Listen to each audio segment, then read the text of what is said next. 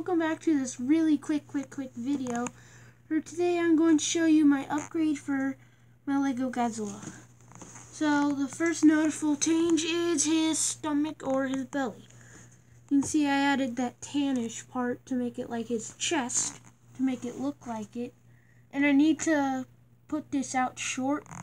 So, and that's his tail with that on with with that little slope piece so it looks like his tail's more downward. So it looks like more realistic. So that's all I have to show. I know this is like a 30 second video. I just need to get this done because my tablet's at like 3% so like share subscribe